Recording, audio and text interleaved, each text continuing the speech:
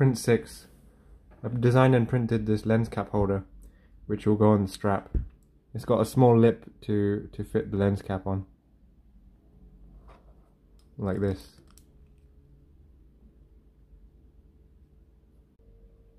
I've now threaded it through the strap and I can just take the lens and fix it on just like that